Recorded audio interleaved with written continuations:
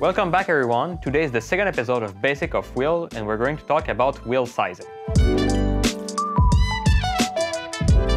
I've got with me today the Osaka, which is a brand new wheel in a satin black finish. This wheel has a size of 18 by 7 with a 5 by 114.3 bolt pattern.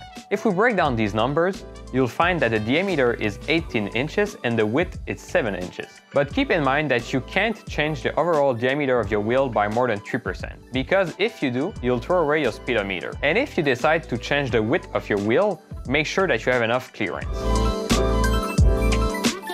The second important number is the bolt pattern. On this wheel, the bolt pattern is 5 by 114.3, but you can also find on the market other things like 4 by 100 or 6 by 139. If we break down this information, the first number is the amount of lugs. The second number is the diameter of an imaginary circle formed by the lug hole. The bolt pattern is extremely important because if you take the wrong one, the wheel won't fit on your vehicle.